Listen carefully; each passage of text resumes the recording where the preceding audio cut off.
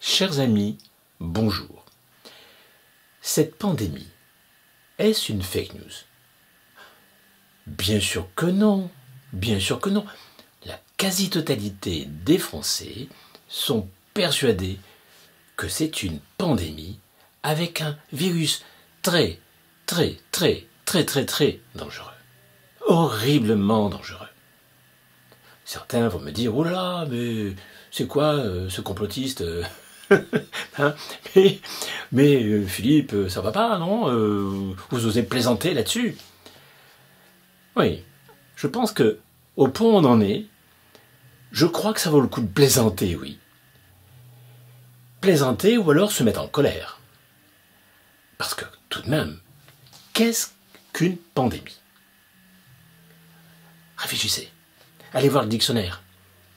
C'est quoi une pandémie? Une pandémie, c'est une épidémie qui prend des proportions telles que elle se répand sur la Terre, la totalité de la Terre, et qui crée, mais alors, des millions et des millions de morts. On est d'accord C'est ça une pandémie. D'autant plus que non seulement on nous a dit et rabâché que c'était une pandémie, mais qu'il y avait ah, des morts, mais des morts, des morts, sans arrêt, sans arrêt. Oh là là, à non plus finir. Alors, vérifions les faits. Les faits, c'est ce que je vous enseigne depuis des années. Vérifiez les faits. Ne croyez rien sans vérifier. Même moi, de mon côté, vous n'avez pas à me croire sur parole. Vérifiez. Vérifiez même tout ce que je dis. Vérifiez. Ah, bien sûr, ne vérifiez pas, évidemment, auprès des médias. Hein. Vérifiez vraiment auprès des, organismes euh, qui sont seulement fiables et qui donnent vraiment des statistiques, donnent des faits qui ne sont pas tronqués. Par exemple, l'INSEE, qui est encore un organisme euh, dont on peut se fier. Eh bien, si vous regardez les statistiques des quatre 5 des 4 premiers mois, puisque là maintenant on, on aborde le cinquième mois de l'année, comparer le nombre de décès des années précédentes, 2017, 2018, 2019, et celle de cette année 2020. Comparez les chiffres. Et qu'est-ce que vous allez trouver? Vous allez trouver tout simplement que l'année 2020 n'a pas plus de décès que les autres années précédentes. Et je dirais même moins que certaines années précédentes. Et ce n'est pas uniquement qu'en France, dans tous les pays du monde, qu'ils aient fait euh, donc euh, tout ce qu'il y avait à faire, enfin tout ce qu'on que l'OMS nous disait qu'il fallait faire, hein, c'est-à-dire en effet euh, se confiner, prendre des masques, faire des tests, soigner. Mais les autres années, les autres années, nous avions la grippe régulièrement et nous n'étions pas en train de nous occuper à, euh, à ce que les médias, du matin jusqu'au soir, égrènent les morts, hein, du matin jusqu'au soir, au point même de bloquer hein, vraiment la société tout entière, l'humanité, carrément, hein, puisque finalement, en, confinant donc les, les citoyens valides, on arrête toute économie. Alors bien sûr, ça c'est pas de la faute spécialement de notre chef d'État. Non, ça vient de plus haut. Ça vient de plus haut. Ça vient en effet, en effet, de l'OMS. Ça vient de ben, des médias, oui, oui, très bien, vous répondez bien. Et puis ça vient de, ben oui, encore dessus. Parce que les médias et l'OMS sont à la complète disposition de, des plus riches, donc, de ce monde. Hein. Quand je parle des plus riches, des multimilliardaires, comme Bill Gates, comme Soros, et qui ont quasiment tous les laboratoires, ont la mise sur tout ce qui est pharmaceutique. Bien sûr, il n'y a pas que, mais en tout cas, c'est ceux qui agissent avec le plus de férocité pour gagner beaucoup d'argent. Évidemment, C'est-à-dire que euh, là, euh, pour chercher finalement des informations, à part l'INSEE, c'est tout ce que vous avez, grosso modo. Hein si vous avez heureusement euh, d'autres sites et d'autres organismes qui peuvent vous confirmer ce que disent les médias, mais en tout cas ne comptez pas sur les médias, les médias officiels, pour vous donner une information. Vous voyez bien, puisque cette pandémie est une immense fake news, une grosse, immense fake news. Et je ne suis pas le seul à le dire. Le professeur Raoul le dit. Et tous les spécialistes compétents, honnêtes, honnêtes, oui, qui ne sont pas compromis avec les laboratoires pharmaceutiques. Tous ceux qui ne sont pas corrompus vous diront, en effet, que ce n'est pas une pandémie. Nous nous trouvons exactement dans la même situation que les autres années, avec un virus, en effet, qui s'appelle Covid-19. Mais oui, mais quand on fouille un peu, on s'aperçoit que, ben, en effet, il a peut-être été créé ou peut-être pas créé, été créé, bon, qu'il ait été créé en Chine ou pas en Chine. Mais le problème n'est pas là, c'est les résultats. Les résultats. Qu'a-t-il produit, ce virus? Est-ce qu'il a produit vraiment un massacre mondial ou même dans certains pays? Même pas, même en France. Et pourtant, on peut dire qu'en France, on a fait tout ce qu'il fallait pour qu'il y ait le maximum de morts. Le maximum. On a supprimé, interdit la chloroquine, on a empêché les médecins de soigner, euh, on a empêché euh, les Français de porter des masques. Puis finalement, après, on a commandé des masques, mais on ne les a pas commandés tout en les commandant tout le temps. Enfin bon, vous connaissez la suite. On a confiné les gens, mais c'est vraiment la, dernière des choses à faire. Je dirais que tous les vrais spécialistes vous diront que le confinement, indépendamment du fait que c'est traumatisant pour les citoyens, mais c'est complètement inefficace. Je dirais même ça peut renforcer l'épidémie. Hein. Donc vraiment, c'est n'importe quoi. N'importe quoi. Imaginez d'ailleurs euh, confinement euh, en Afrique, par exemple, hein, euh, quand ils sont 10 ou 15 au même endroit. Là, ils vont tous se contaminer automatiquement, hein, ça c'est clair. Bon, non mais, d'ailleurs, entre parenthèses, en Afrique, il n'y a quasiment personne de décédé. C'est vraiment, les chiffres sont d'une nullité absolue. Et pourtant, on peut dire qu'on a fait des efforts hein, pour les trouver, ces, morts, hein, ces décès. Et même en France. Du matin jusqu'au soir, on nous a rabâché le nombre de morts et que finalement on prenait des avions pour transporter euh, euh, les personnes qui sont en urgence. Euh, donc l'hôpital de Mulhouse, et où on a envoyé des trains, etc. Alors qu'en fait, il y avait des cliniques privées dans le coin autour de Mulhouse qui auraient pu prendre tout de suite, efficacement, tous ces euh, personnes euh, atteintes donc du virus. Un virus, comme la grippe, qui tue. Et d'ailleurs, les spécialistes vous diront que le, Covid, hein, le coronavirus, hein, eh bien, euh, il a une létalité qui est inférieure à celle de la grippe. C'est-à-dire qu'il tue moins les personnes qui sont contaminées. Il, tue moins. Mais par contre, il est plus contagieux. Alors c'est peut-être un peu plus spectaculaire. Voilà. Bon, mais un peu plus spectaculaire, mais regardez les faits. De toute manière, les autres années, les hôpitaux ont toujours été surchargés et il y a beaucoup de personnes qui sont décédées de cette manière-là, par faute de soins. Mais il n'y avait pas les médias derrière, c'est évident. Hein on ne vous dit pas tout. Les médias vont là où il faut. Et évidemment, ils vont là où les plus riches, ceux qui euh, ont les vaccins, ceux qui ont les médicaments qui coûtent très cher, donc les laboratoires pharmaceutiques, eh bien, donnent les instructions ben, aux médias. Ben, c'est normal, c'est le moindre des choses. Tout de même, euh, les médias reçoivent, euh, donc, d'abord, ils appartiennent à ces plus riches. Hein, donc ils, sont la possession de ces plus riches et euh, ils sont financés par ces plus riches. Donc, c'est la moindre des choses tout de même de ne pas cracher dans la soupe, on est d'accord Donc les journalistes ne peuvent pas cracher dans la soupe. Alors donc, il est clair, et vous pourrez vous renseigner tranquillement, efficacement, vous avez encore bien une semaine encore de, de confinement, renseignez-vous correctement mais certainement pas auprès des médias officiels, parce que eux de leur côté, ils sont, ils sont corrompus, ils sont à la merci des plus riches. Ils sont comme peu tous ces médecins aussi qui font partie de, du comité euh, scientifique hein, d'État, euh, ils sont dans un conflit d'intérêts.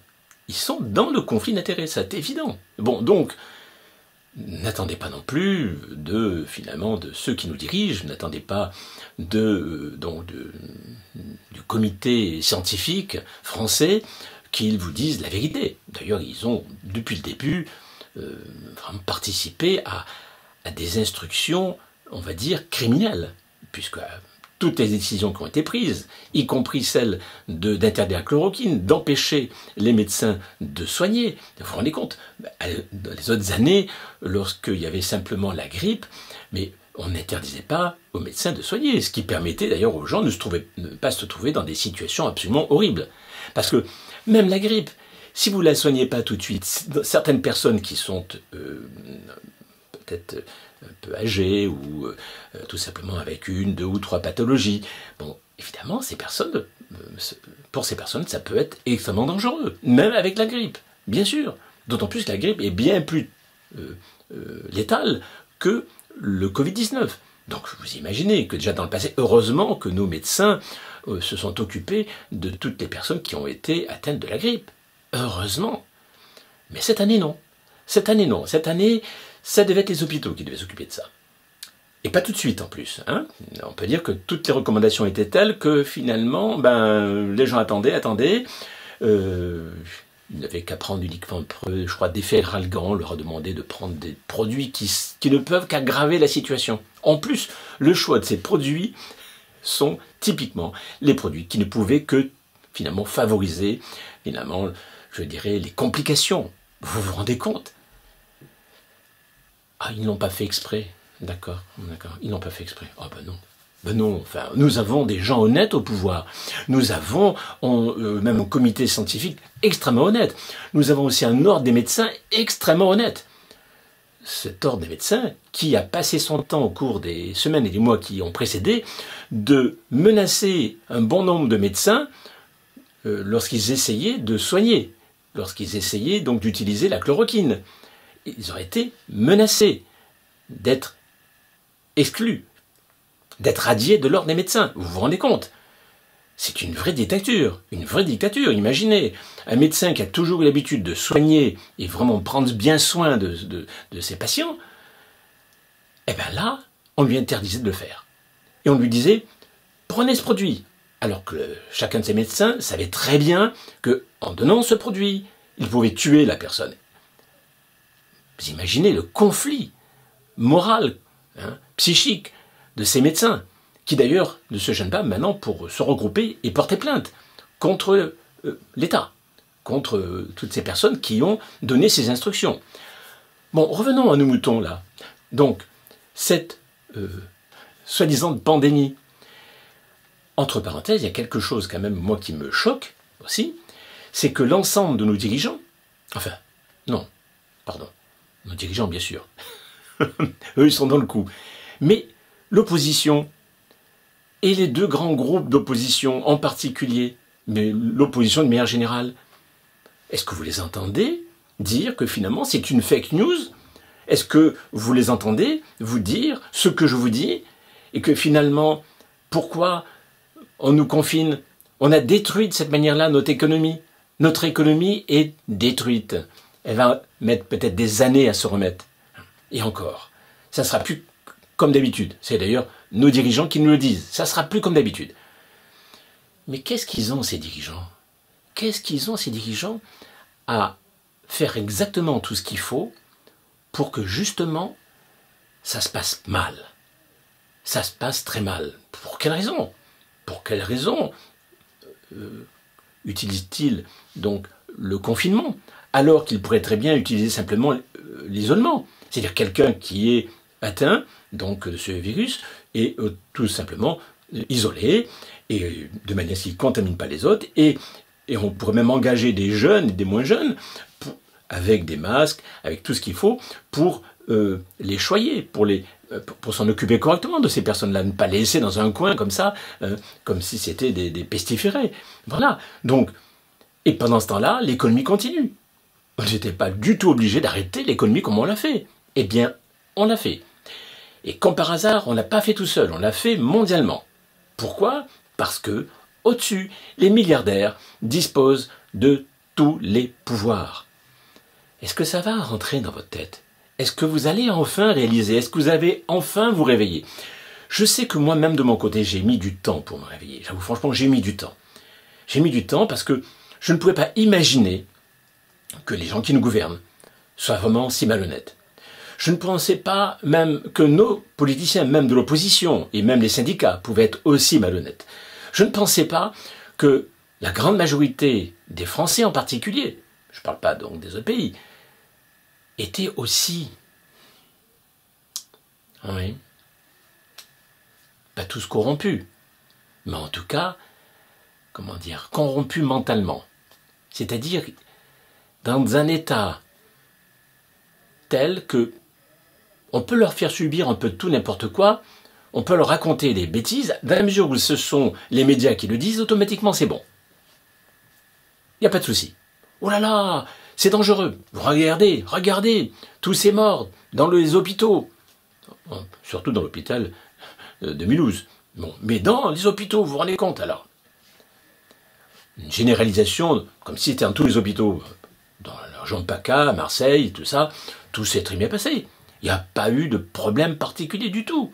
Bien au contraire. En plus, grâce au professeur Raoul, ben, on a utilisé la chloroquine, qui a fini par être utilisée un peu partout en France. Mais, et dans le monde, ça faisait un bon bout de temps que tout le monde avait compris qu'il fallait utiliser la chloroquine ou d'autres euh, remèdes très simples, comme l'artémisia ou euh, je crois la vitamine C par injection, ou euh, je crois euh, l'ozone aussi, voilà, en Allemagne en particulier. Donc il y a des techniques très simples, pas chères et très efficaces qui ont été utilisées en Allemagne. Regardez le, peu de décès qu'ils ont eu en Allemagne. C'est absolument ridicule. Et malgré tout, vous voyez, on les a confinés, on a stoppé les entreprises allemandes aussi. Hein, ça vous dit rien ça? Quelle nécessité de, de finalement d'arrêter des entreprises dans un pays qui prend bien soin de ces, malades. Hein, et, qui, et ces malades qui, euh, pour ceux qui sont, je dirais, euh, en âge de travailler, euh, bah, qui, ne sont pas atteints par le virus. Parce que ce virus n'est pas vraiment, vraiment embêtant pour les personnes qui sont en bonne santé ou qui, et qui travaillent. Ce sont plutôt les personnes retraitées ou les personnes qui ont quelques pathologies déjà au départ. Donc, mais c'est loin d'être l'ensemble des travailleurs. Pourquoi arrêter toutes nos entreprises, comme on l'a fait, tous nos commerces?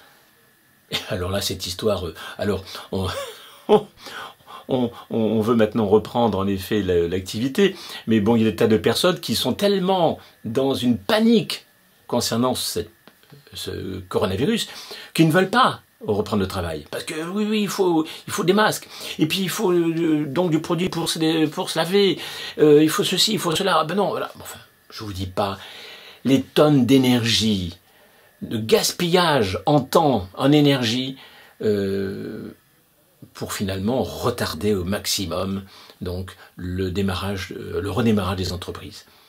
Et malgré qu'il y ait des employeurs, des petits patrons ou même des grands qui essaient de faire euh, repartir leur entreprise, c'est carrément le peuple qui a été illitéralement lobotomisé par des trouilles, par des paniques complètes, dues finalement au message des médias pendant plusieurs mois. C'est le peuple qui dit non, on ne veut pas reprendre de travail. Non. Et en plus, regardez le, le comique de la chose. Le, le chef d'État qui, veut qu'on on, envoie nos enfants donc de nouveau à l'école. Alors qu'on pourrait très bien attendre maintenant en septembre, ça suffit. Hein la comédie a assez duré, ne vous croyez pas? Bon, donc, euh, alors vous voyez ces pauvres enfants en train de mettre des masques et tout ça, ne pas se toucher, non, c'est n'importe quoi. Mais ils vont se contaminer 100 fois plus que lorsque vous êtes euh, au restaurant. Hein? D'ailleurs, entre parenthèses, euh, quand on est dans le métro, quand on est dans des, un peu partout, ou même quand on va au supermarché, hein, on se contamine, bien sûr qu'on se contamine malgré les masques. nous savons depuis le début que les masques sont inutiles. Et c'est pas parce qu'on ne sait pas les mettre. Les spécialistes vous disent que les masques, à part le fait que ça empêche de postillonner, hein, mais ça ne protège rien, rien du tout. C'est pas la peine de prendre de gants ni quoi que ce soit. De toute manière, le virus est dans l'air, d'accord? Comme d'habitude, comme les autres années, avec la grippe, pareil, toujours. C'est pareil, c'est un virus comme la grippe. Il n'y a rien de plus. Ben si, qu'il y a de plus, c'est simplement, je dirais, la manière dont on en parle. Hein? C'est comme si l'année dernière, on avait commencé à vous dire euh, Ouh Oh là, c'est une grippe carabinée, dangereuse. Vous savez, il y a eu une sorte de mutation, je ne sais pas ce qui s'est passé, mais oh là là Et puis qu'on commence déjà à, filmer euh, dans les, certains hôpitaux surchargés. Déjà l'année dernière et les autres années, il y avait des hôpitaux déjà surchargés, et qu'on commence à vous inquiéter au maximum. Mais vous seriez paniqué de la même manière. Je dirais, et c'est pour ça que euh, quand même, il va bien falloir à un moment donné que euh, non seulement on dénonce les coupables, et je suis pour l'instant l'un des rares à dénoncer les coupables, mais il faudra aussi qu'il y ait des sanctions. Enfin, tout de même, c'est honteux d'avoir menti à ce point, alors que vous pensez bien que tous ces gens au plus haut niveau, ils savent très bien ce qu'il en est. Ils savent très bien que euh, tous ceux qui nous gouvernent savent très bien qu'ils ne sont que des, comment dire, des gestionnaires, enfin des exécutants, des pions, hein, que les plus riches euh, utilisent. donc, ils n'ont pas grand pouvoir. D'abord, d'une part, parce que les dirigeants français, comme les autres dirigeants d'autres pays européens, ils dépendent de l'Europe. donc, c'est Bruxelles qui décide. Mais Bruxelles, qui c'est qui commande Bruxelles? C'est le multinational. Vous imaginez bien que les, plus riches ne vont pas s'amuser à posséder les médias français et, donc les, banques françaises euh, de, posséder euh, l'OMS et qu'ils aient oublié de posséder Bruxelles, l'Europe.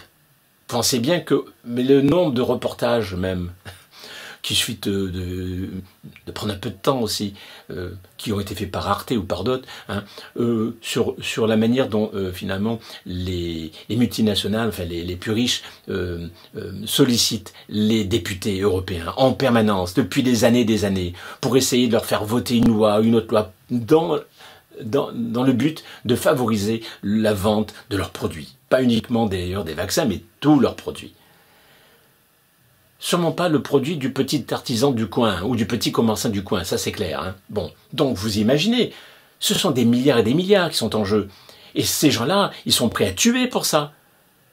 Peut-être que vous-même d'ailleurs, certains d'entre vous seraient prêts à tuer si vraiment, d'ailleurs entre parenthèses, je vous signale, euh, au moment des, d'un décès de famille, lorsqu'il y a un, deuil familial, hein, un moment donc euh, du testament, un moment donc de, du partage, hein, les notaires vous diront que 80%, les, les, Français, comme tous les...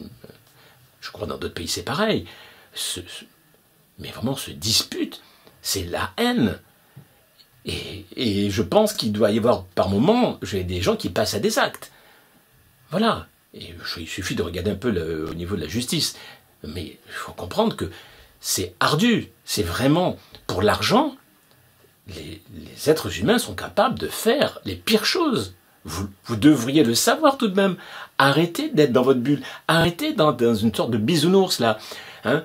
Comme je l'étais moi dans le passé en quelque sorte. Enfin partiellement. Peut-être pas autant que vous. Mais quand même. Moi je pensais pas. Je savais bien que la nature humaine n'était pas parfaite et qu'il pouvait y avoir des, des, des, gens qui sont malsains ou qui sont corrompus, tout ça. Mais je ne pensais pas que c'était à ce point-là. Je ne pensais pas que la justice était atteinte. Je ne pensais pas que euh, les, les, médias étaient atteints. Je ne pensais pas que nous étions déjà euh, repris par, ces, euh, par tous ces, tous ces multimilliardaires qui sont de véritables prédateurs et qui ont vraiment pris les choses en main. Vous auriez beaucoup d'argent, vous. Beaucoup, beaucoup, beaucoup d'argent et voudriez bien les faire fructifier. Est-ce que vous pensez que vous vous contenteriez uniquement d'en profiter bêtement avec dans votre piscine privée? Hein? Non. Vous feriez des plans pour vraiment organiser tout pour que vous gagniez de plus en plus d'argent. Et c'est une véritable lutte. Vous savez très bien combien il y a une compétition déjà à l'école, mais une compétition, je dirais, euh, à tous les niveaux, même au moment d'un décès, hein, au moment d'un partage, une compétition à tous les niveaux. Donc arrêtez de croire que nous nous trouvons dans un monde parfait. Acceptez quand même, arrêtez, vous, faites, vous faites l'autruche là. Vous faites l'autruche. Le problème, c'est que même nos politiciens de gauche font l'autruche. Parce que je n'en vois aucun, que ce soit Mélenchon, que ce soit euh, Marine Le Pen, hein, enfin, Jean-Luc Mélenchon ou Marine Le Pen, je n'en vois aucun, d'autres, hein, qui vraiment disent ouvertement ce que je vous dis. Ne serait-ce que ça, ne serait-ce que le fait que cette pandémie est une immense fake news. Une fake news. Quand je pense que nos dirigeants euh, passent leur temps depuis quelques bonnes années, ou quelques, quelques bons mois surtout, hein, à chasser toutes les fake news qu'on peut trouver sur euh, Internet. C'est vrai qu'il y a des gens qui disent n'importe quoi sur Internet. Hein. entre parenthèses, il y a des gens, des fois aussi, des chansons hein, qui euh, remplies de haine, et pourtant la justice ne condamne pas. Donc il y a peut-être choses qu'on ne condamne pas. Par contre, les fake news sur Internet, alors là, oui. Là, on ferme des comptes, etc., etc. C'est la chasse, la chasse aux sorcières. Alors moi je suis d'accord. Mais attends, là, il faut faire ça aussi, c'est-à-dire dans les médias officiels. Il faut faire la chasse aux fake news dans les médias officiels. Or, les médias officiels, non, ils sont parfaits. Même quand on leur signale qu'il y a une erreur, qu'il y a quelque chose de faux dans ce qu'ils ont dit, ils ne s'excusent jamais. C'est le silence. Et pour cause. Et pour cause. Vous comprenez bien qu'ils s'auto-censurent et qu'ils ne vont pas revenir sur quelque chose qu'ils ont fait sciemment Hein, pour être virés ensuite. Vous imaginez Ils vont pas s'amuser à ce genre de choses. Voilà, donc ce que je voulais dire, et après je vais vous laisser réfléchir à tout ça. Mais en tout cas, c'est vraiment le fait que les l'opposition, je me demande ce qu'ils font.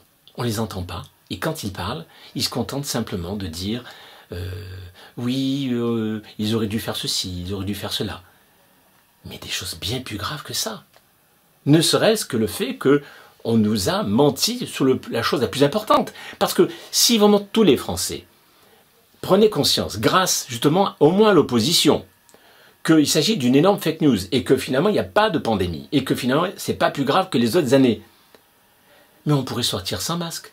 On n'aurait plus besoin de confiner on pourrait vraiment euh, euh, arrêter donc de, de, s'auto-détruire en restant chez soi, de, détruire nos entreprises en arrêtant de travailler. On arrêterait ce massacre. Le problème, c'est que même l'opposition, même les syndicats et tout ça, non, on ne les entend pas. Non. Ou si on les entend, c'est pour dire oui, le gouvernement, euh, quand même, il aurait dû faire ceci, il aurait dû faire cela. Mais c'est bien plus grave que ça. Moi, je vous parle là de la pandémie, mais il y a d'autres choses. Vous qui avez écouté mes autres vidéos précédentes, vous savez qu'il y a d'autres choses qui sont graves, extrêmement graves. Mais il faut reconnaître que le cas imparable est grotesque et qu'il faudrait une bonne fois pour toutes euh, soulever, c'est le problème de cette fausse pandémie. Hein. voilà.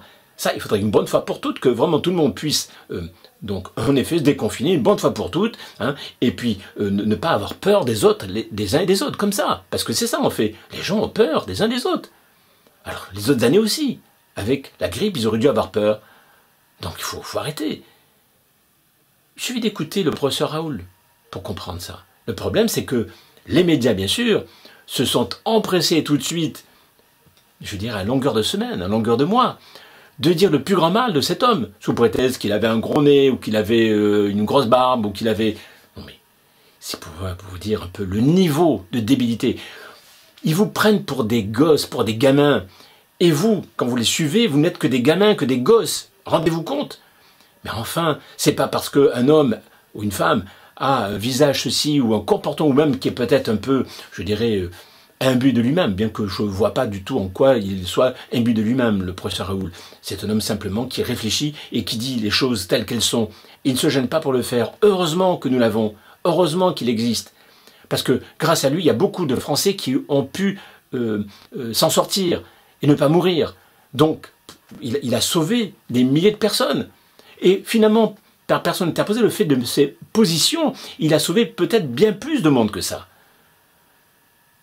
Mais tous ces gens qui ont collaboré avec les multinationales avec pharmaceutique, tous ceux qui ont collaboré avec les médias, tous ceux qui finalement ont suivi ça sans broncher, mais ils devraient être destitués. Et même notre opposition, les personnes qui sont dans l'opposition et qui ne branchent pas et qui ne font pas ce travail de recherche de vérité, on ne devrait plus voter pour eux.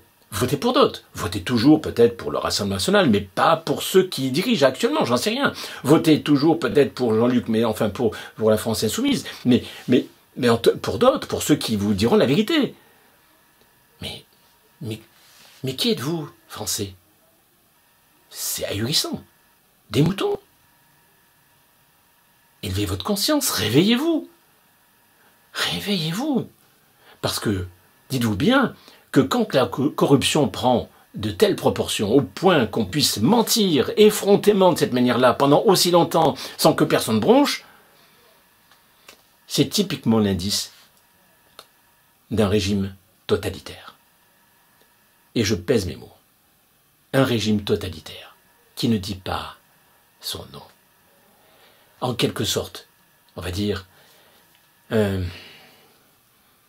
un régime qui utilise une violence froide, une violence qui ne dit pas son nom. Parce que vous savez, euh, le pouvoir, quand il ment, quand il abuse, quand il utilise les injustices, il utilise les passe-droits, les abus de pouvoir, c'est violent. C'est violent. D'ailleurs, je, vous laisserai un lien pour euh, un petit passage de l'abbé Pierre qui parle de tout ça, sur cette violence, cette violence du pouvoir, qui malheureusement, évidemment, ne peut déclencher de la violence physique pour ceux qui sont désespérés et qui ne savent plus quoi faire. Mais évidemment, cette violence-là, elle est réprimée, elle est interdite. Par contre, la violence des abus de pouvoir, ça, par contre, est autorisé. Personne n'est condamné. Les violences, de qu'elles soient, doivent être condamnées. De qu'elles soient. Et nous devrions faire en sorte que nos dirigeants et tous ceux qui ont collaboré, tous ceux qui ont finalement n'ont rien dit, soient vraiment destitués de leur fonction. Soient destitués de leur fonction. Il n'y a pas d'autre mot. Parce que c'est vraiment révoltant. Mais où est l'humanisme, le vrai humanisme? Où est vraiment le respect de soi, le respect des autres? Mais où sont vos vertus? Français. Mais où est votre humanisme? Vous avez fait la révolution de 1789 On a vu ce que ça a donné. Apparemment, vous n'avez pas trop changé. Ah, pour tuer des gens, pour finalement s'entretuer, on tue les rois, d'accord, les, aristocrates, puis après on se tue, on s'entretue. C'est malheureusement ce qui se passer si vous ne vous réveillez pas tout de suite. Parce que si vous ne faites pas en sorte que rapidement, par des tracts, dans la rue, un peu partout, dès le déconfinement, vous ne disiez pas haut et fort sur ces tracts que déjà cette pandémie est une fake news. Et il y a des preuves. Les preuves, vous le savez très bien, il suffit de regarder les statistiques de l'INSEE des années précédentes. C'est tout. Ça suffit. Avec ça, c'est un argument majeur de poids. Il n'y a pas eu de pandémie. Le virus n'est pas plus dangereux que ceux des autres années. C'est uniquement ce qu'on en a fait. La manière dont on a regardé ces pauvres gens qui toutes les années meurent à cause donc de la grippe. Et on a fait en sorte de jouer sur vos sentiments. On a fait en sorte de vous faire peur. C'est de la manipulation de masse.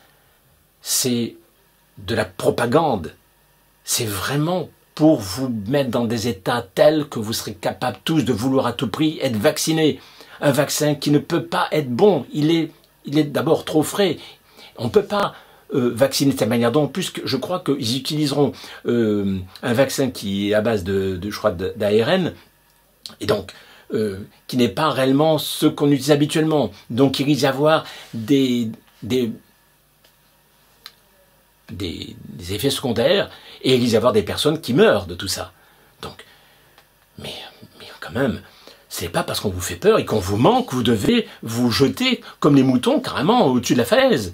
Enfin, vous avez un cerveau, vous êtes, vous euh, des êtres humains. faut dire que vous savez, nos politiciens aussi, hein, ils sont même très diplômés, ils sont très instruits, et pourtant, regardez-les, ils ne bougent pas. Ils ne bougent pas. Même dans l'opposition, ils ne disent rien. Sinon que rabâcher les mêmes choses du genre, ben oui, c'est pas normal, euh, euh, comme d'avoir laissé comme ça, euh, d'avoir pas pris les bonnes décisions, tout ça. Vous savez, Bossuet disait Dieu se rit des hommes qui déplorent les effets dont ils chérissent les causes. Ça veut dire quoi ça? Hein C'est que vous déplorez, en effet, cette histoire de vaccin, hein, cette histoire, excuse-moi, de, virus, de, de, pandémie, vous déplorez, ah là là là là. Mais en fait, c'est vous qui avez créé ça. C'est vous, nous tous, nous tous, nous avons créé ça. Par notre inconscience. Nous avons laissé, depuis des années et des années, nos politiciens devenir de plus en plus corrompus. Et c'est cette corruption qui a fait qu'ils ont accepté cette soumission aux multinationales, aux gens les plus riches de ce monde. Nos politiciens sont corrompus au plus haut niveau, quel que soit le bord. Donc vous vous rendez compte? C'est vous qui êtes cause, c'est vous qui avez voté, ou qui n'avez pas voté. C'est vous qui avez préféré voter en écoutant la télévision, finalement ceux à qui on vous a dit de voter. On vous a dit de voter pour telle telle personne, que tout simplement en la mettant en avant à chaque fois, et vous avez voté pour ces personnes-là. C'est tout. Donc on vous a manipulé. Toute cette expérience doit être là pour justement vous apprendre à élever votre conscience, à vous remettre en question, à vous rendre compte que plus personne ne doit être capable de vous manipuler. Et donc, de, en quelque sorte, de muter, de vous transformer, de vous transcender. C'est l'occasion jamais d'élever votre conscience. Il y a une autre, euh, une autre citation qui est celle d'Einstein, qui je trouve qui est tout à fait appropriée à la situation. Il disait Deux choses sont infinies l'univers et la bêtise humaine. Mais en ce qui concerne l'univers, je n'en ai pas encore la certitude. En effet, la bêtise humaine est incroyablement infinie quand on voit la manière dont, non nous-mêmes, mais aussi les, gouvernants et notre opposition, vous vous rendez compte, c'est plus que de la bêtise, c'est de la corruption. C'est vraiment, je dirais, on voit que là, vraiment, on a affaire à des gens qui ne cherchent pas du tout la vérité, ils ne cherchent pas du tout à se remettre en question. Ça ne les intéresse pas, la conscience. Ou alors ils ont une notion de la conscience, à qui m'échappe, hein, parce que, comme je vous l'ai dit dans une vidéo précédente, je vous ai expliqué ce que je considérais comme la conscience, mais ils sont à 100 lieues. Ils sont à 100 lieues malgré tout leur diplôme. Il y a un problème. Et alors, pour terminer, je vais vous citer euh, Benjamin Franklin. Il disait Un peuple prêt à se sacrifier, ou plutôt, un peuple prêt à sacrifier un peu de liberté pour un peu de sécurité ne mérite ni l'un ni l'autre et finit par perdre les deux. Et c'est ce qui risque de nous arriver parce que pour avoir de la sécurité, on est tous là en train de dire Ah oui, il nous faut un vaccin, il nous faut un vaccin. Pour la sécurité, on a accepté d'être enfermé. Pour notre sécurité.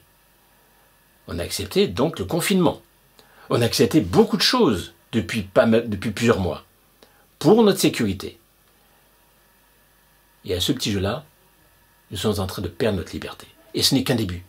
Ce n'est qu'un début parce que peut-être dans les semaines qui viennent, il y aura tellement de troubles.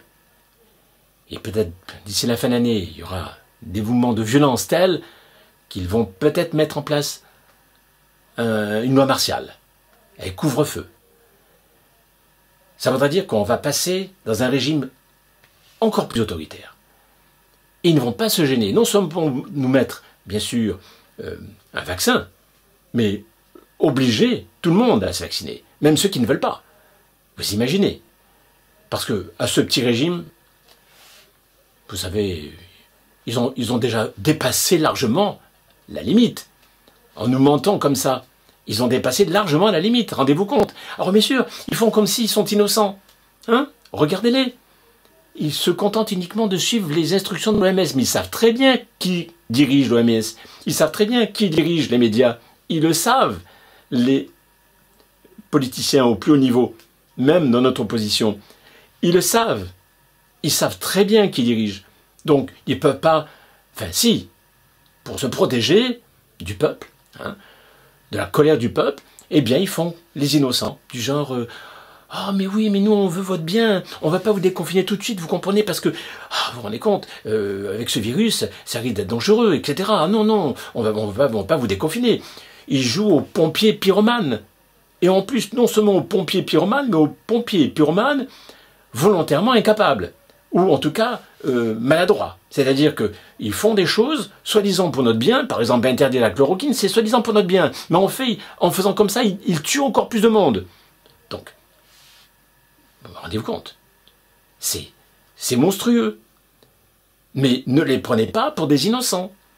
Ils savent très bien que c'est pas eux qui dirigent. Ils savent très bien qu'ils sont que des collabos, que des gestionnaires, et que au-dessus, eh bien, c'est l'OMS, au-dessus, ce sont les médias, au-dessus, ce sont les plus riches de ce monde, qui ont la même mise sur eux, sur l'Europe, et même sur au moins toute la partie occidentale du monde. Mais à mon avis, même la Chine est dans le coup. À mon avis. À mon avis. Parce que n'oubliez pas que ça a commencé, cette pandémie, par la Chine, qui a donné l'exemple en confinant. Hmm. C'est un pays totalitaire. Mais en confinant, ils ont donné l'exemple. Et ensuite, après, les autres ont fait pareil. Comme par hasard. Parce que l'OMS avait demandé de le faire. Voilà. Donc, vous comprenez tout. Ils sont. Alors, ça fait très complotiste. C'est vrai, je reconnais. Ah oui, ça fait très complotiste. Mais quand beaucoup de choses se recoupent et qu'on a des fake news aussi monumentales que celles que je viens de vous prouver, hein, je pense que c'est eux qui complotent. C'est eux qui sont organisés. C'est eux qui font ce qu'il faut eux, de leur côté, ils ont beaucoup à gagner. Des milliards et des milliards. Et vous pensez qu'ils vont les laisser, ces milliards? Vous pensez qu'ils vont les perdre? Mais vous, mais vous les prenez pour des imbéciles, là encore. C'est incroyable, cette crédulité. En plus, crédulité peu spéciale, parce que, par ailleurs, pour d'autres choses, hein, vous n'êtes pas... Euh, hein? vous, êtes plutôt euh, incrédule. Hein vous vous gênez pas pour critiquer, pour condamner X, Y, et ainsi de suite, hein, et puis vous dire oh là là, mais c'est des fake news, oh là là, mais c'est du complotisme, oh là là, vous vous gênez pas du tout. Ben oui. Là aussi, c'est, on va dire, c'est l'arroseur arrosé. Hum? Maintenant, c'est vous, Français, hein, qui êtes si en train de vous plaindre des uns et des autres. Eh bien, qui c'est qui vous a fait ce coup-là cette fois-ci? Eh bien, c'est au-dessus. Bien sûr, on peut toujours accuser Macron, mais c'est pas Macron le vrai problème, c'est les gens qui sont au-dessus. Donc si vous voulez que ça change, il faut, à mon avis, non pas essayer de vous attaquer à Macron, ça ne servira à rien, vous allez vous faire décimer. Mais si vraiment, et moi c'est ce que je préconise, c'est vraiment des mouvements pacifistes, certainement pas par la violence, parce que la violence n'amène rien, mais en tout cas des mouvements pacifistes auprès de vos représentants. Même s'ils sont pourris, hein, allez les voir et faites en sorte que vos représentants de l'opposition, vos syndicats, fassent ce qu'il faut. C'est vous, le peuple, qui devez maintenant que vous êtes conscient, vous avez compris en effet qu'on vous a trahi, qu'on vous a raconté des histoires, demander justement à vos responsables politiques, de l'opposition déjà, de faire ce qu'il faut. De faire en sorte qu'il y ait justice. Et, en tout cas que la vérité éclate. Parce que j'entends aucun de ces politiciens de gauche ou de droite, de l'opposition, dire quoi que ce soit. Voilà. Donc, agissez. Parce que petit à petit, là, on est dans un engrenage qui n'est pas de bonne augure. Et, pourtant, je ne suis pas du genre à être négatif. Hein. Je peux vous assurer, je suis quelqu'un de très très positif habituellement dans la vie. Mais là, non. Il y a trop de choses c'est trop pourri. Il y a trop de choses qui se cumulent. Là, je vous ai juste parlé de cette grosse fake news. Mais il y en a plein. Regardez mes autres vidéos. Vous verrez, il y en a plein. C'est tellement multiple. C'est un gros, gros problème. Allez, prenez bien soin de vous surtout. Prenez bien soin de vous. Essayez d'élever votre conscience de toutes les manières possibles, peu importe. Mais en tout cas, élevez votre conscience. Remettez-vous en question. N'acceptez pas la soumission. Vous n'êtes pas des moutons. Alors, régissez. À bientôt. Au revoir.